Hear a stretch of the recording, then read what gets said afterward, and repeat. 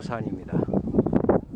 요산 정상에서 내려다보는 봉우리들의 절묘한 모습들을 볼 수 있는데 안개가 껴서 선명하지가 않군요. 대단히 아름다운.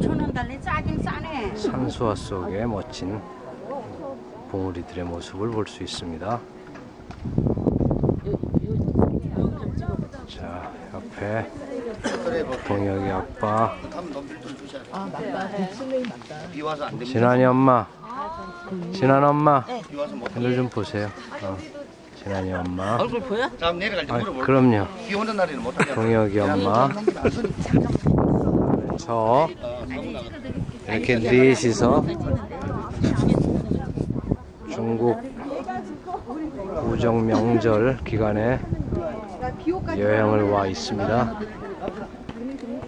춘절 기간이라 쉬는 곳이 많은데 계림 요산의 절경입니다.